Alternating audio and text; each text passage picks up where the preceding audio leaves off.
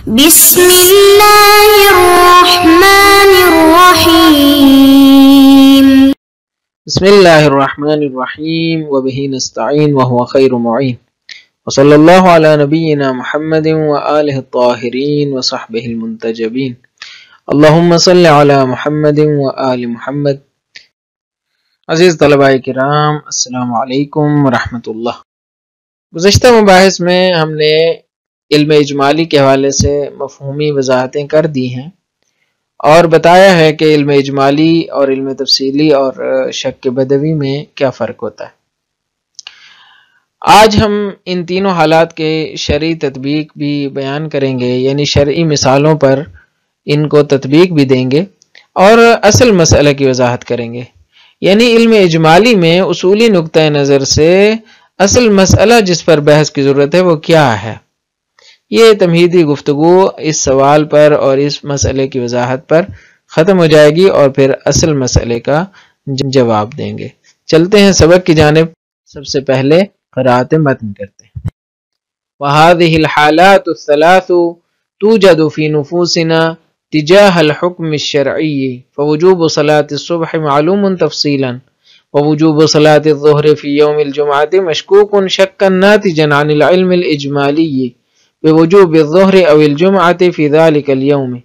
ووجوب صلاة العيد مشكوك ابتدائي غير مقترن بالعلم الإجمالي.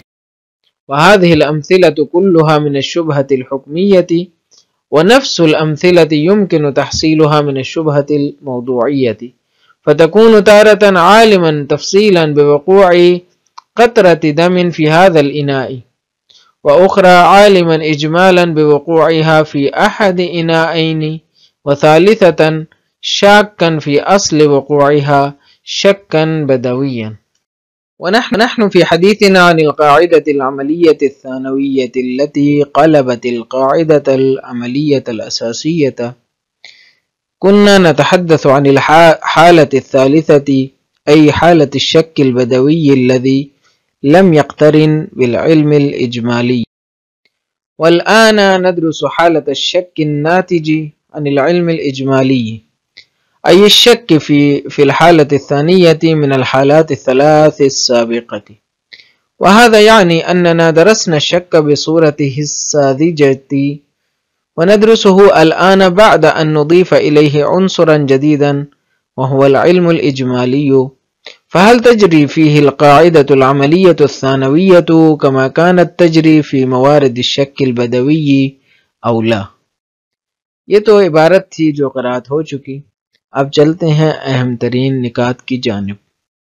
گزشتہ سبق میں ہم نے علم اجمالی کی کیفیت کے حوالے سے کچھ وضاحتیں شہید صدر کے کلام کی روشنی میں پیش کی تھی اور بتایا تھا کہ شہید فرماتے ہیں کہ اگر ہم نے علم اجمالی کو تشخیص دینا ہو کہ عربی زبان میں مثلا کیسے جملوں کے ذریعے ہم علم اجمالی کو تشخیص دے سکتے ہیں، تو اس کے لیے شہید نے جو تجویز پیش کی تھی وہ یہ تھی کہ ہم اما اور اما کے ذریعے تشخیص دے سکتے ہیں۔ جہاں کہیں بھی یہ والے تردیدی جملے آ جائیں جہاں پہ اما اور اما لگایا جا سکے، تو وہاں پہ علم اجمالی کو سمجھا جا سکتا ہے۔ جیسے سافرا اما اخی الاکبر و اما اخی الاصغر۔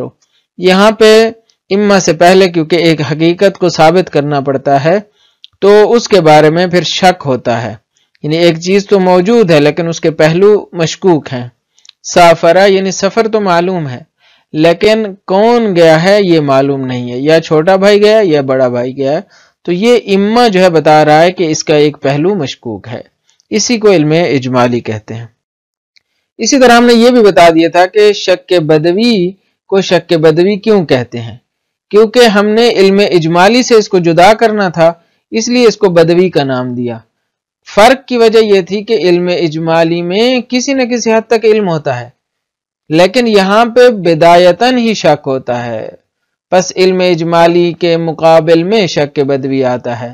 شک بدوی یعنی بالکل ہی شک ہے ہر قسم کا شک ہے اس میں ابتدا ہی سے شک ہے۔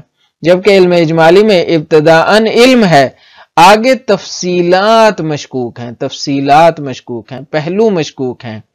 اصل موضوع کا علم ہے لیکن یہاں پہ اصل موضوع ہی مشکوک ہے اس لیے اس کو کہا جاتا ہے شک کے بدوی۔ یہ وضاحتیں تھی, تھی جو گزر چکی۔ آج کے سبق میں ہم جو گزشتہ تینوں حالات تھے، ان کو شرعی مثالوں کی روشنی میں تطبیق کرتے ہیں۔ سب سے پہلے شبہ حکمیہ کے حوالے سے تطبیق پیش کریں گے، اس کے بعد شبہ موضوعیہ کے حوالے سے۔ اور ہم بتا چکے ہیں کہ شبہ حکمیہ وہاں ہوتا ہے جہاں اصل جا المشکوک ہوتی ہے۔ اور شبہ موضوعیہ وہاں ہوتا ہے جہاں مجعول مشکوک ہوتا ہے۔ جال معلوم ہے، لیکن اس کی فعلیت مجہول ہے یا کہیں کہ فعلیت مشکوک ہے، جس کو مرحلہ مجعول بھی کہا جاتا ہے۔ تو آتے ہیں سب سے پہلے شبہ حکمیہ کی جانب۔ شبہ حکمیہ میں مثال مثلا نماز پنجگانہ کا وجوب۔ آپ کو نماز کا بھی علم ہے کہ ہر مسلمان کے اوپر پانچ نمازیں ہیں اور یہ کہ یہ نمازیں مستحب بھی نہیں ہیں، واجب ہیں۔ یہ کیا ہے؟ علم تفصیلی۔ اس کو کہتے ہیں علم تفصیلی یعنی کسی بھی قسم کا کوئی ابہام نہیں۔ دوسری مثال میں آئے دوسری مثال میں جمعہ کے دن نماز کا تو علم ہے، نماز تو واجب ہے ظہر کے وقت۔ لیکن وہ نماز کون سی ہے؟ آیا اینا نماز جمعہ ہے یا ظہر بھی پڑھ سکتے؟ لہٰذا اس میں مشکوک ہو گئے کہ آیا نماز جمعہ عینن واجب ہے یا نہیں؟ ظہر بھی پڑھیں تو کافی ہے۔ نماز کا تو علم ہے، لہٰذا ایک نماز کے وجوب کے بارے میں ہمیں علم ہے۔ تو یہ لہٰذا یہ علم کا پہلو ہے۔ اجمال کس جہت سے؟ اجمال اس جہت سے کہ آیا جمعہ وجوب عینی رکھتا ہے یا نہیں؟ تخیری ہے، زور بھی پڑھ سکتے ہیں۔ یہاں پہ اجمال آ گیا تیسری مثال کی طرف آئیں۔ نماز عید کا وجوب، یہاں پہ شک کے بدوی ہے۔ یعنی اصلاً ہمیں کوئی علم ہی نہیں ہے کہ نماز عید، آیا روز عید واجب بھی ہے یا واجب نہیں ہے، بلکہ سرے سے مستحب ہے۔ اصلا واجب ہی نہیں ہے۔ یہاں پہ کوئی علم نہیں ہے، لہذا شک بدوی ہے۔ یہ تین مثالیں تھیں جو شبہ حکمیہ سے مربوط۔ اب تین حالات کی طرف آتے ہیں اور ان تین مثالوں کی طرف آتے ہیں جو شبہ موضوعیہ سے مربوط ہے مثلا کہتے ہیں، برتن میں نجاست گرنے کا علم ہے۔ آپ کے سامنے ایک برتن پڑا ہے اور اس میں ایک نجاست آپ کے سامنے آ کر گر گئی ہے۔ آپ کے سامنے، آپ کی آنکھوں کے سامنے۔ لہٰذا آپ کو یقین ہے کہ یہ نجاست فلاں برتن میں گری ہے۔ یہ ہو گیا علم تفصیلی۔ آپ کو معلوم ہے، برتن کے بارے میں بھی، نجاست کے بارے میں بھی۔ دوسرا کیا ہے کہ آپ کے سامنے دو برتن پڑے ہیں۔ تو آپ کو یقین ہے کہ یہاں ان میں سے کسی ایک میں نجاست گری ہے۔ لہٰذا ایک چیز کا علم ہے کہ نجاست گری ہے۔ لیکن شک کہاں پہ ہے؟ دو برتنوں میں سے کسی ایک کے حوالے سے۔ لہٰذا یہاں پہ شک ہو گیا کہ دو برتنوں میں سے کس برتن میں گری ہے۔ لیکن علم کس چیز کا ہے؟ نجاست گرنے کا علم ہے۔ نجاست گرنے کا علم ہے۔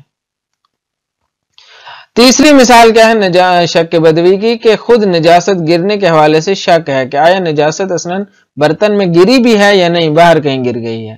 باہر گری ہے۔ یہ ہو گیا شک بدوی کہ جہاں پہ اصلا معلوم ہی نہیں ہے کہ نجاست برتن کے اندر ہے بھی یا نہیں ہے۔ اب ان تمام مسائل کی وضاحت کے بعد اصلی مسئلے کو بیان کرتے ہیں۔ یہ تو ہو گیا سارا مفہومی تصور۔ ہم نے ابھی تک علم اجمالی کے مفہوم کو واضح کیا ہے۔ مفہوم مفہومی تصور پر روشنی ڈالی ہے۔ مفہومی تصور کو واضح کر دیا ہے کہ علم اجمالی کہتے کسے ہیں؟ اس کا علم تفصیلی کے ساتھ کیا فرق ہے؟ اس کا شک کے بدوی کے ساتھ کیا فرق ہے، یہ ساری وضاحتیں ابھی ہم نے بیان کی۔ اب آتے ہیں اصل مسئلے کے بیان کی طرف کہ اصل مسئلہ کیا ہے، جس کو ہم آگے چل کر وضاحت کریں گے اور جس پر بحث کرنا چاہتے ہیں۔ وہ مسئلہ یہ ہے کہ کیا علم اجمالی میں بھی ویسے ہی اصل براعت جاری ہوگی، جیسے شک بدوی میں جاری ہوتی تھی یا نہیں، بلکہ اصالت الاحتیاط جاری ہوگی۔ مسئلہ یہاں پر ہے۔ ہم نے شک بدوی میں بتا دیا کہ اگرچہ یہاں پہ شہید کے نزدیک اصل اولیہ احتیاط ہے، لیکن اصل ثانویہ یعنی بیان شرعی کی روشنی میں شریعت نے آ کر بتا دیا کہ مجھے شک کے بدوی میں احتیاط نہیں چاہیے۔ لہذا شک کے بدوی میں احتیاط جاری نہیں ہوگی، بلکہ برات شرعی جاری ہوگی۔ یہ شہید صدر کا نظریہ تھا۔ اور مشہور تو کہتے ہیں یعنی رائج جو اصولی نظریہ ہے اس کے مطابق تو عقلی طور پر بھی براعت ہی ہے، کیونکہ قب ہے اقاب بلا بیان لازمات ہے۔ لہٰذا شک کے بدوی میں تو کوئی شک ہی نہیں ہے کہ برات جاری ہوگی۔ مسئلہ یہ ہے کہ کیا علم اجمالی میں بھی برات جاری ہوگی یا نہیں ہوگی؟ یہ اصل سوال ہے اور انشاءاللہ اگلی مباحث میں اس کا جواب دیں گے۔ تو چلتے ہیں وضاحت متن کی جانب۔ فرماتے ہیں قاعدہ منجزیت العلم الاجمالی تمہید۔ یہ تمہیدی مباحث ہماری جاری ہیں اور اسی کا تسلسل ہے۔ فرماتے ہیں، وَهَذِهِ الْحَالَاتُ الثَّلَاثُ تُوجَدُ فِي نُفُوسِنَا تجاہ الحکم شرعی یہ تینوں حالات یعنی علم تفصیلی، علم اجمالی اور شک بدوی۔ یہ تینوں حالات ہمارے نفوس میں پائے جاتے ہیں کس حوالے سے؟ تجاہ الحکم شرعی، خود حکم شرعی کے حوالے سے۔ حکم شرعی کے جب ہم سامنا کرتے ہیں تو اس حوالے سے بھی ہمارے ذہنوں میں یہی تینوں حالات موجود ہوتے ہیں۔ یعنی مثال دینا چاہ رہے ہیں، تطبیق کرنا چاہ رہے ہیں۔ فرماتے ہیں فوجوب و صلاحات صبح معلوم تفصیل کہتے ہیں، صبح کی نماز کے بارے میں ہمیں تفصیل معلوم ہے کہ یہ نماز واجب ہے۔ ووجوب صلاة الظهر في يوم الجمعة مشكوك شكا ناتجا عن علم الإجمالي بوجوب الظهر او الجمعة في ذلك اليوم. کہتے ہیں، نماز ظہر جمعے کے دن مشکوک ہے کہ کیا واجب بھی ہے یا نہیں ہے؟ کیوں واجب نہیں ہے؟ کہتے ہیں شکن ناتجن عن علم اجمالی کیونکہ ہمارے پاس ایک ایسا شک ہے، ایک یہ مشکوک کی نوعیت کو بیان کر رہے ہیں. شکن یہ مفعول مطلق ہے۔ کہتے ہیں مشکوک ہے۔ ایک ایسے شک کی وجہ سے کہ جو نتیجہ، جو کیا کہتے ہیں، نتیجہ ہے اس علم اجمالی کا۔ یعنی جو پیدا ہوا ہے، ناتج ہوا ہے، علم اجمالی سے پیدا ہوا ہے۔ علم اجمالی کون سا؟ کہ بے وجوب زہر او الجماعت فی اليوم کہ ہمیں شک ہے کہ آیا جمعے کے دن زہر بھی پڑھ سکتے ہیں یا جمعہ واجب عینی ہے۔ ظہر یا جمعہ کے وجوب کے حوالے سے جو شک ہے۔ ایک چیز کے بارے میں تو علم ہے کہ نماز ہم نے پڑھنی ہے ظہر کی ظہر کے وقت۔ جمعے کے دن جیسے عام دنوں میں نماز ہوتی ہے تو وہاں پہ جمعے کے دن بھی تو نماز زہر ہونی ہے۔ لیکن کیا نماز زہر جمعے کی شکل میں ہو، نماز جمعے کی شکل میں ہو، اس کی کیا خصوصیت ہوتی ہے؟ اس کی خصوصیت یہ ہوتی ہے کہ جو پہلی دو رکعتیں ہیں یا کلن دو رکعتوں کے مقابل میں دو خطبے ہوتے ہیں۔ اور اسے جماعت کے ساتھ پڑھا جاتا ہے اور اس کے مثلا باقی آداب ہیں۔ ان کا خیال رکھا جاتا ہے اور پھر دو رکعت نماز پڑھی جاتی ہے۔ تو یہ ساری چیزیں ہیں جو نماز جمعہ کے اندر ہیں۔ یا نہیں، عام جو نماز زور ہم چار رکعت پڑھتے ہیں، جمعہ کے دن بھی وہی چار رکعت پڑھیں۔ بس نماز تو ہم نے پڑھنی ہے، لیکن اس کی کیفیت کے بارے میں ہمیں شک ہے۔ یہ ہے علم اجمالی۔ تو اب تیسری مثال ہے شک بدوی کی۔ کہتے ہیں کہ ووجوب صلاة العید مشکوک ابتدائی غیر مقترن بالعلم الاجمالی کہتے ہیں کہ نماز عید تو شک ابتدائی کے ساتھ مشکوک ہے یعنی اس کا اس کا شک بدوی ہے۔ کیوں؟ اس لیے کہ اس کے اندر کوئی کسی بھی قسم کا علم اجمالی موجود نہیں ہے۔ غیر مخترن بالعلم الاجمالی علم اجمالی کے ساتھ وہ مقترن نہیں ہے، قرین نہیں ہے، ملی ہوئی نہیں ہے۔ وَهَذِهِ الْأَمْثِلَةُ كُلُّهَا مِنَ الشُّبْهَةِ الْحُكْمِيَّةِ. یہ تینوں جو مثالیں ہم نے دی ہیں، نماز عید کی، نماز ظہر کی، نماز فجر کی، یہ تینوں مثالیں شبہ حکمی کی ہیں۔ اس لیے کہ یہاں پہ اصل جعل کے حوالے سے سوال ہے۔ وَنَفْسُ الْأَمْثِلَةِ يُمْكِنُ تَحْصِيلُهَا مِنَ الشُّبْهَةِ الْمَوْضُوعِيَّةِ۔ یہی مثالیں ہم شبہ موضوعیہ میں بھی لا سکتے ہیں۔ ان کو حاصل کرنا ممکن ہے شبہ موضوعیہ سے بھی۔ یعنی شبہ موضوعیہ میں بھی یہی مثالیں پیادے کی جا سکتی ہیں۔ اب انہی کو پیادہ کر رہے ہیں۔ کہتے ہیں فتح تارتن عالمن تفصیلا بے وقوع قطرت دمن فی هذا الانائی کہتے ہیں، پہلی صورتحال یہ ہے کہ آپ تفصیلا آگاہ ہیں، عالم ہیں، جانتے ہیں کہ ایک خون کا قطرہ گرا ہے اس برتن میں۔ پس آپ کو برتن کا بھی علم ہے، خون کے قطرے کے گرنے کا بھی علم ہے۔ وہ دوسری حالت یہ ہے کہ عالمن اجمالا بے فی احد انائین آپ کو اجمالاً معلوم ہے کہ یہ خون کا قطرہ گرا ہے دو برتنوں میں سے ایک میں، لیکن کس میں گرا ہے یہ معلوم نہیں ہے۔ وثالثتاً، تیسری صورتحال یہ ہے کہ شاکن فی اصل وقوعها شکن بدوین کہ آپ کو شک ہے کہ اصل وقوع قطرت دم یعنی خون کے قطرے کے اصل گرنے میں ہی شک ہے۔ کہ اندر گرا بھی ہے برتن کے یا نہیں گرا شکن بدویان، اسی کو شک بدوی کہا جاتا ہے۔ ونحن في حديثنا عن القاعدة العملية الثانوية التي قلبت القاعدة العملية الأساسية كنا نتحدث عن الحالة الثالثة کہتے ہیں، ہم جب گفتگو کر رہے تھے، اس گفتگو کے دوران فی حدیثنا، اس گفتگو میں جب ہم گفتگو کر رہے تھے کس کے بارے میں؟ قاعدہ عملی ثانویہ کے بارے میں۔ قاعدہ عملی ثانویہ کیا تھا؟ برات شرعیہ۔ کہ التی جس قاعدہ عملی ثانویہ نے قلبت، تبدیل کر دیا، الٹ دیا قائد عملی اساسی کو، وہ کیا تھا؟ اصالت الاحتیاط، شہید کی نظر میں، حق تا کی روشنی میں۔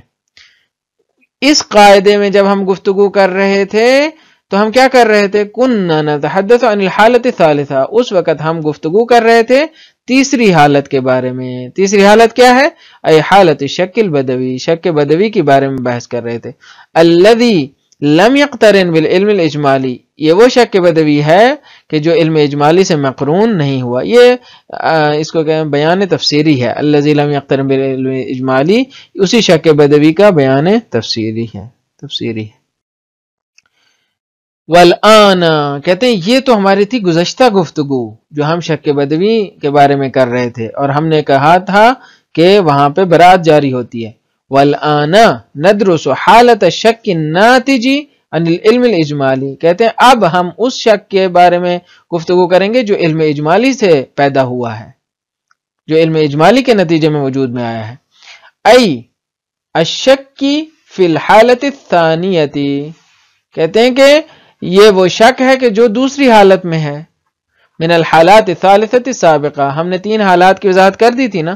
ان تینوں حالات میں سے دوسری جو حالت تھی، اس کا شک ہے۔ وہذا یعنی اور اس کا یہ مطلب ہے کہ اننا درسنا شک بصورت بصورت حصہ جاتی ہم نے مطالعہ کر لیا ہے، دراست کر لی ہے، ہم نے گفتگو کر لی ہے، جان لیا ہے۔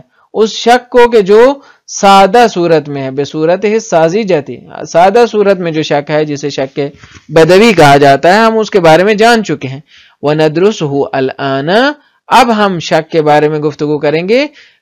کیسے؟ بعدان نضیف الیہ عنصرا جدیدا۔ اس کے ساتھ، بعد اس کے کہ ہم اس کے اندر ایک اور عنصر کا اضافہ کریں گے۔ اور وہ عنصر کیا ہے؟ وہ علم الاجمالی اور اس عنصر کا نام ہے علم اجمالی، جس کی ہم وضاحت کر چکے ہیں۔ تو اب آتے ہیں اصل مسئلے کی طرف۔ اصل مسئلہ کیا ہے؟ کہتے ہیں فہل تجری فیہ القاعدۃ العملیۃ الثانویۃ کما کانت تجری فی موارد الشک البدوی اولا سوال یہ ہے کہ کیا یہاں پہ بھی یعنی علم اجمالی میں بھی قاعد عملی ثانویہ جاری ہوگا؟ کیا تھا وہ قاعدہ؟ یعنی برات شرعیہ۔ کما کانت تجریفی مارد، جیسا کہ جاری ہوا کرتے تھی یعنی جاری ہوا کرتا تھا قاعدہ عملیہ ثانویہ موارد شک کے بدوی میں۔ موارد شک کے بدوی میں تو قاعدہ عملیہ ثانویہ یعنی برات شرعیہ جاری ہوتی تھی۔ کیا علم اجمالی میں بھی یہی قاعدہ جاری ہوگا او لا یا جاری نہیں ہوگا؟ یہ وہ سوال ہے جس کا اگلی بحث میں ہم انشاءاللہ جواب دیں گے۔ سبق کا خلاصہ یہ ہے کہ آج ہم نے علم اجمالی کی منجزیت پر تمہیدی گفتگو کو اپنے اختتام پر پہنچایا اور بتایا کہ تینوں حالات یعنی علم تفصیلی، علم اجمالی اور شک بدوی کے حوالے سے تینوں کی شرعی مثالوں پر تطبیق ممکن ہے اور ہم نے آج اس کی تطبیق بھی بیان کی کہ شبہ حکمیہ میں اس کی مثالیں کیا ہیں، مثلا نماز کی مثالیں دیں۔ اور اسی طرح شبہ موضوعیہ میں بھی اس کی مثالوں کو پیش کیا، تینوں حالات کی مثالیں آج وضاحت کر کے انہیں پیش کیا۔ اور پھر بتایا کہ علم اجمالی میں اصل مسئلہ اور اصل سوال کیا ہے۔ بتا دیا کہ علم اجمالی میں اصل سوال یہ ہے کہ کیا علم اجمالی بھی شک بدوی کی طرح ہے؟ یعنی وہاں پہ بھی براعت جاری ہوگی یا نہیں، وہاں پہ اصالت الاحتیاط جاری ہوگی۔ انشاءاللہ اگلے سبق میں اس سوال کا جواب دیں گے۔ مجھے امید ہے یہ سبق بھی آپ کے لیے مفید واقع ہوا ہوگا۔ اجازت دیجیے اللہ تعالیٰ آپ کا ہم ناصر ہو۔ السلام علیکم ورحمۃ اللہ وبرکاتہ۔